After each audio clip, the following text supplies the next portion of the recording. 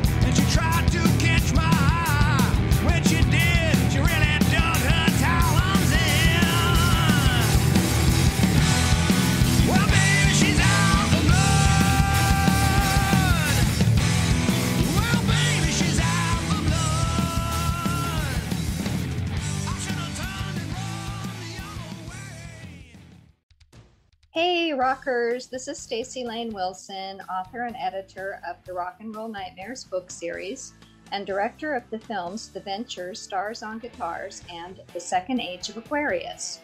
Rock and Roll Nightmares, the podcast, explores the dark and mysterious and sometimes funny side of music from the 60s, 70s, 80s, and beyond. But that's just a jumping off point. Think of it as a 45 record you bought for the hit you know, and then going to the B side and discovering something really cool and unexpected. On this lo fi podcast for hi fi people, I will be interviewing, sometimes by myself, sometimes with a co host, musicians, authors, artists, and filmmakers. Enjoy! My guest today is Tony Gardner. He's a legend in the world of special effects who got his start working on the Michael Jackson thriller video and hasn't stopped bringing us the goo and the gore since. When it comes to music related projects, he's worked on films ranging from Rockula to the Beach Boys story Love and Mercy, and videos for Slayer, Florence and the Machine, Foo Fighters, and more. When Foo Fighters decided to produce their own feature film, Tony got the call. Studio 666 features Dave Grohl and the band getting really, really gory, all with practical effects. Welcome to the show, Tony. Thanks. Thanks for having me, Staci. I appreciate it. Yeah, well, I mean, I've been lucky enough to see you and your talented team at work on the sets of some horror films like uh, the Child's Play franchise and Scout's Guide to the Zombie Apocalypse, which was so much fun. And I have been to your amazing workshop, but for the listeners who uh, haven't been, how about a visual of how things were when you were working on Studio 666? Uh, 666 was uh, uh, a crazy time with a lot of stuff going on. We it, COVID hit during all that as well, so um, we were working towards the last week of the shoot when we were going to shoot all the the big makeup effects stuff, and we had we had basically we had bodies on all the tables. You know, we had Rami's table, Whitney Cummings' table, uh, Taylor's table. Um, Pat Smear's had had a whole dummy body. So a lot of workspace was sort of becoming storage space as we were, you know, finishing all that stuff up and getting it ready. We had like Chris Shiflett's severed head and Will Forte's head, and all that stuff was laid out. We were doing like kind of the final painting and touch up and tweaking and the blood rigs we were uh, testing out in the parking lot Oh, and in the studio and, and just running water through them for the for the bodies coming apart and all that. Um, What do your neighbors think of that? They, they're probably used to it, right? I, yeah, I think our neighbors are used to it. One of our neighbors does uh, educational videos for schools. So I think he finds what we do very entertaining um, and appreciates the work that, that goes into it. I think we're just kind of a freak show um, to everybody else in the complex, though, because, you know, we'll go outside, obviously, to test the blood stuff and then spray the back of a head open and spray up the wall of the, the exterior of the building. Um, we learned very early on not to put any food coloring into the water, um, even if it helped make it easier to see for testing because we ended up staining the building um, and didn't really want to go down that route again anymore. So we were very cognizant of uh, testing all the 666 stuff with um, with water, especially since there was so much of it. I mean, Rami's death, we had two 55 gallon drums as our reservoir.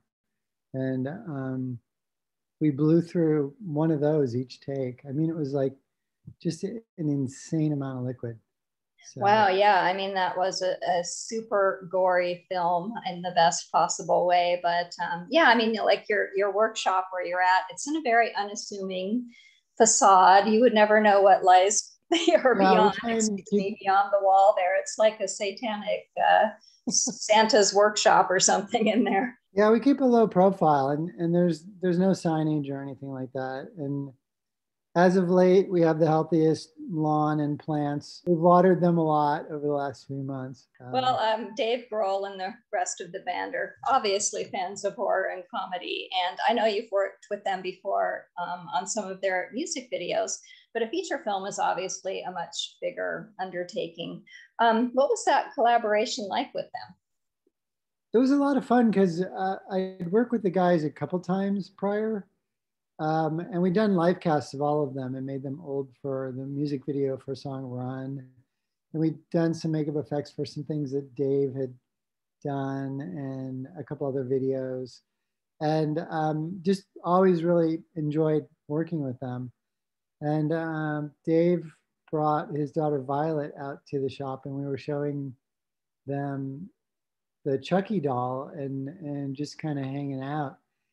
And he was talking about recording in this um, this house that was super creepy, up on this big hill behind a gate, and how it, he had this. He feels like they should do a horror film there. So he asked me if I happen to have any sort of like, you know, do you have any sort of like list of ways you've wanted to kill people that you've never had a chance to do? And uh, my answer was, of course, yes.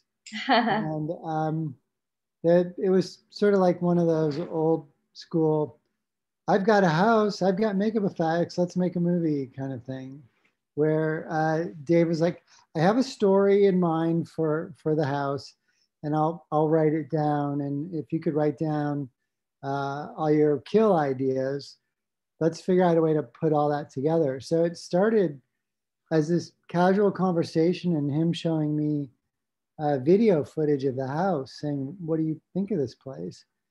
And then um, I ended up going there and checking it out. Uh, once I started writing all the death stuff down and realized that there was so much more in the exterior of the place to work with, like a swimming pool and all this sort of stuff. And um, added to it. So we ended, I ended up with two pages worth of death descriptions and ideas. And then uh, Dave had like a page and a half of story. So the next step was to go hire uh, screenwriters to, you know, put it all together. Um, and then fairly soon after that, we started talking about directors.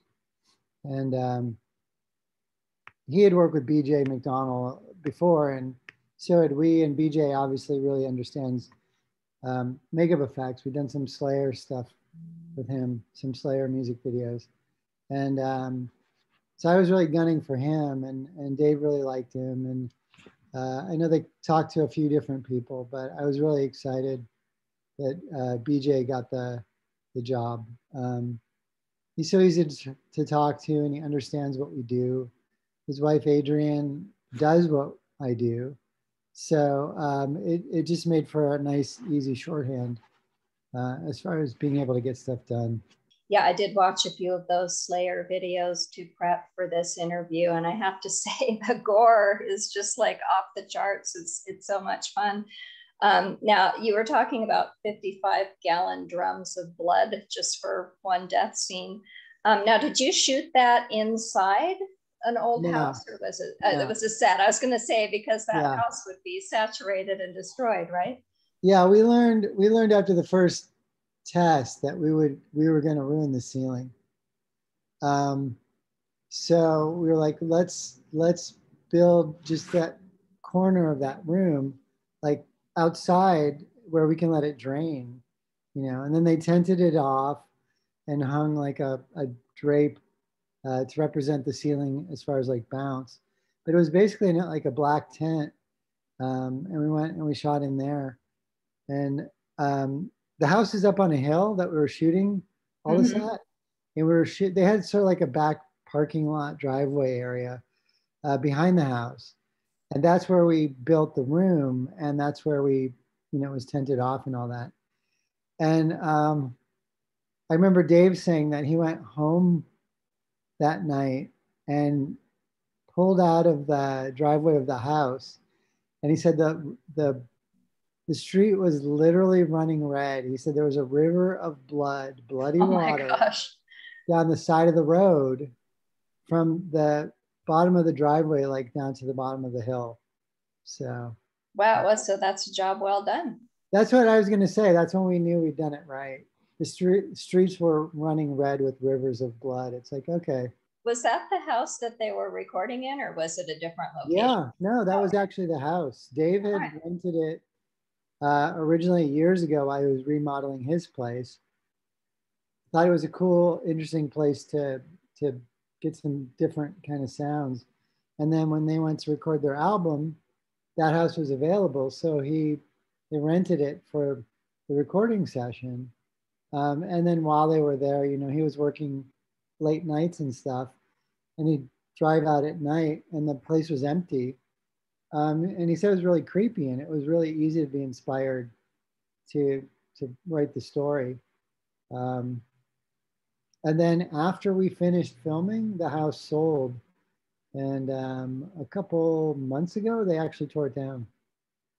Oh wow. So it's that's it's it's uh sort of stab at immortality. It's in this movie now. But it would have been fun had we known that they were gonna demolish it, um, to be able to like get a little more extreme with what we were doing, like to the pool and the house and blowing out the windows and So how was it decided who would die and in which awful way? I mean, I love the death by drum cymbal. That was one of my favorite ones. Um, Yeah, so because the writers had come up with something uh, fairly complex for that whole death scene. It wasn't part of my list, and uh, it was starting to get fairly complicated. And I, and I think it was Taylor, the drummer, Taylor Hawkins, who said, "Why don't you just throw a cymbal at my head?" They're like, "That's a great idea." it is. Yeah, yeah, yeah. And with the with the cymbal thing, um, they built that little fake wall that the cymbal goes into that that comes out of that little recessed area of the real wall. So it's re- really easy to swap it out. But I, I took a photo of the wall with just the cymbal stuck in it without Taylor in it, because there was just blood like fanning out from under the cymbal, like literally everywhere it was it was the biggest controlled mess that we had. Rami's was the most uncontrollable. When when I wrote out the lists of ways we could uh, kill people, um, a big factor in deciding who was going to take on which which demise was basically how tolerant they would be of the the makeup effects stuff. And Rami was super patient and super chill with the life casting for one and he's just a very kind-hearted person with a good spirit and it's like okay if there's anybody we can we can torture um, and have him take it with a sense of humor um, and and just go for it um, it, it would definitely be him Uh, he was up for getting a spray tan shaving his chest hair into a big heart just being a goof and having fun with the whole part. So it was it was obvious that you know um, we could do whatever we, we needed to with him. And then ironically, we end up just literally replacing him with animatronic puppets. So it, it didn't really matter. Um, same with Whitney Cummings. You know, the chainsaw comes out of her face. Um, and from that moment on, she's just a, a a puppet as well. So Wow, those are so amazing, though. I mean, it really looks um, incredibly real the way that you you did that. I'm assuming that you know techniques must have improved quite a bit since the 80s and the golden era of the Oh, practical effects yeah. slasher. How did Yeah, they look so real? How, how do you do that? yeah, I, I wanted to make something that we could reset pretty quickly, and and have the two halves of the body be able to go back together, and we could line everything up and and go for take two or take three because I know we'd have to move quickly. Um, the the whole thing is pneumatic and has like a literally a control box that controls how it splits apart like from the top down and then how the two halves separate and hit the hit the bed. Um, so after it worked you could like basically hit another button and all the pieces would come back together and you might need to do a little bit of alignment. Um, but you could clean it up and, and go for uh, take two. Well, um, John Carpenter, the director of Halloween and, of course, many other famous horror films, is a musician himself. And so he knows uh, Dave and the band and makes an appearance in Studio 666. But um, how did that come about? And does he have anything to do with the music in the film as well? Um, yeah, he actually wrote the theme song that the movie opens with. John Carpenter wrote that. Um, and that came about because Dave knew uh, John Carpenter previously.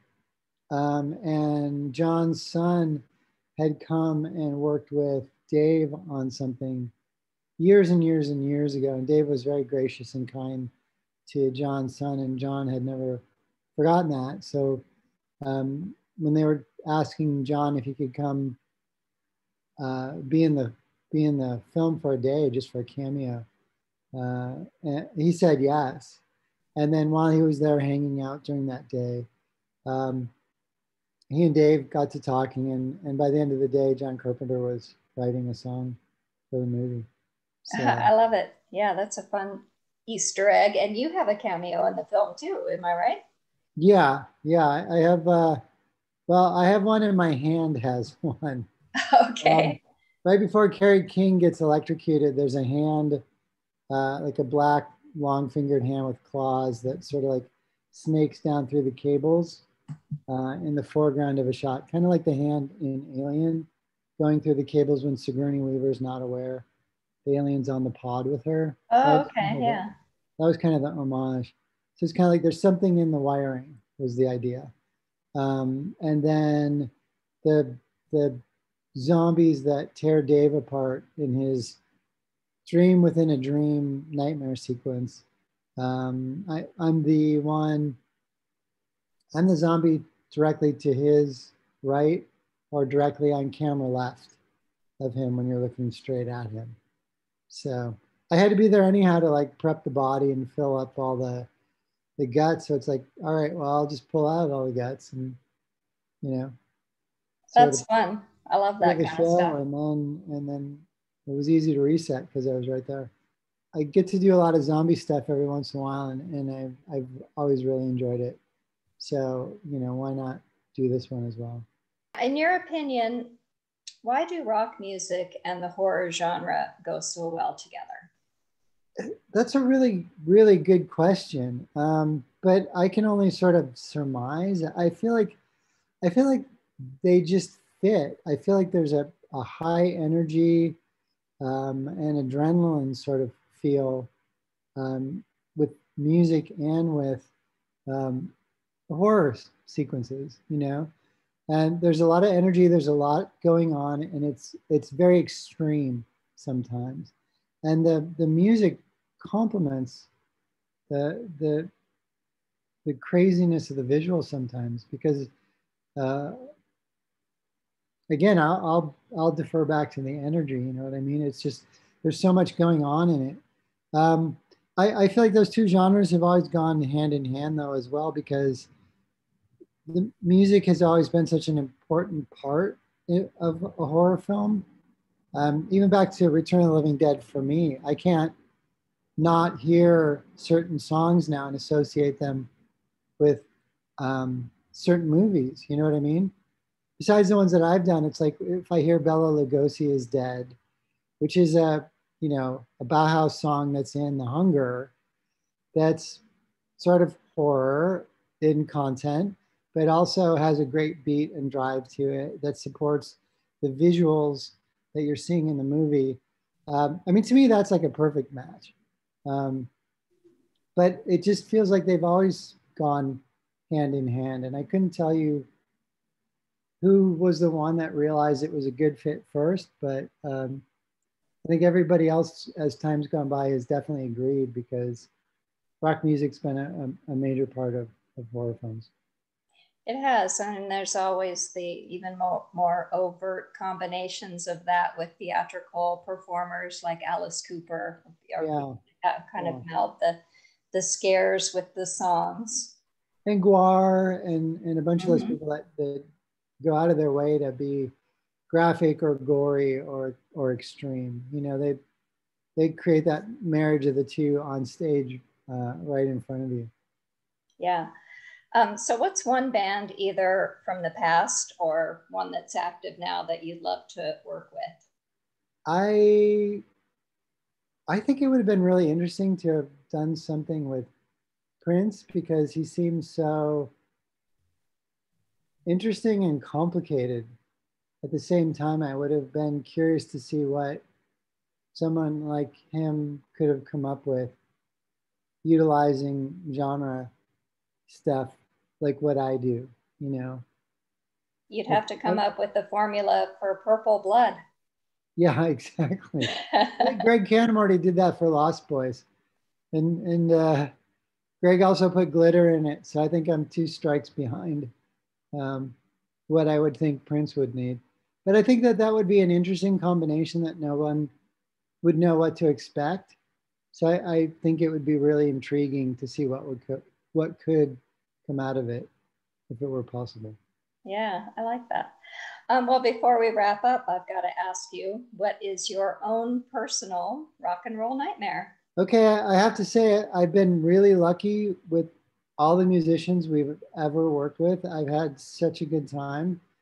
I'd, I'd have to say that the the worst nightmare would be the literal nightmare that's the story of Studio 666. Just for those who haven't seen it yet, it's about uh, a singer, Dave Grohl, who gets possessed while he's recording an album, right? Yeah, he sort of descends into darkness and then he becomes possessed and then people start to die. Um, he loses his mind and uh, um, a bloodbath ensues. it sure does. um, so, where can fans uh, follow you online, Tony? Our company name is Alterian, and if you go on uh, Instagram or, or Twitter, I think it's at Alterian Inc. INC. INC, like Alterian Incorporated. Um, and then we're also on YouTube as Alterian Inc. Um, and then we have a website that's also, guess what? Let me guess. Yeah. So uh, search for that Alterian Inc. and you can find us kind of almost anywhere. All right. Well, thanks, Tony. Such a pleasure to speak with you again and keep on rocking. Thanks. Thanks for having me. This was really fun. As always, before I close the show, I'm going to share a paragraph from one of the Rock and Roll Nightmares books. This is an excerpt from Gory Days, the 1980s fiction edition. The story is Hip to Be Scared, and it is by Darren Gordon Smith and me. As the two men began to circle each other and shake their bodies just like the dancers in the Pat Benatar Hell is for Children music video, the partygoers gathered to watch the fracas. Maddie wanted desperately to flee from the room, grab Monroe, and go, but she couldn't because she was trapped between the barred window and the murderous duo. Phil pointed his gun at the ceiling, then fired. Hey, stop that, someone from the fifth floor shouted. Phil fired again. Maddie's ears rang and she felt weak. She watched in mute horror as Richard jabbed at Phil's soft belly, drawing blood. The music man put his hand to his midsection, and stared in disbelief at the blood on his hand. You son of a bitch, he muttered, bringing his weapon down and pointing it at Richard's head. Try that again. Richard laughed low and menacing. Hail Satan, he said, then skewered the producer's jugular notch, doing a deadly tracheotomy. As Phil tried to curb the flow of blood with his free hand, he pressed the pistol between Richard's eyes and fired. Instantly, brain matter flew out from the back of the punker's head as his skull shattered and flew in shards across the room. Those within range stumbled back. Ugh, barf me out, shouted the man in the Boy George get up, swiping a chunk of viscera from his headband.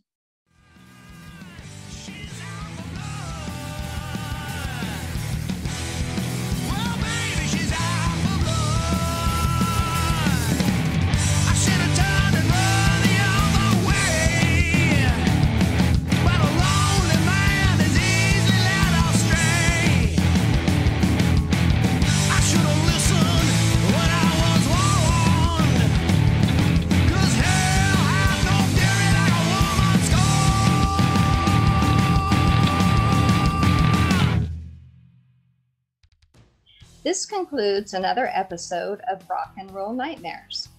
I'm your host, Staci Layne Wilson. The theme song Out for Blood is composed and sung by Lars with a Z, Cabot, and the band is Fuzzbuster. You can hear the whole track in the horror comedy film Valentine DayZ, also with a Z.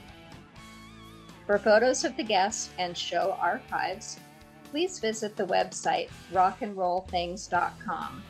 That's rock and roll with an N. You can also join the Rock and Roll Nightmares Facebook group or follow us on Instagram at Rock and Roll Nightmares Books. That's B O O K S. This is an indie podcast, so your subscriptions and ratings are really important. Thank you for joining me, and until next time.